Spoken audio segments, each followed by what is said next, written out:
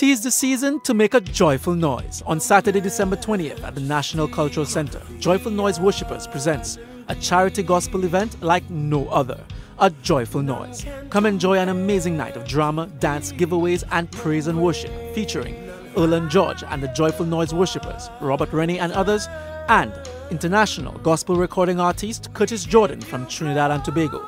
Starting time 8 p.m. Tickets available at Class Boutique on Jeremie Street, Castries. Admission $25, 30 at the door.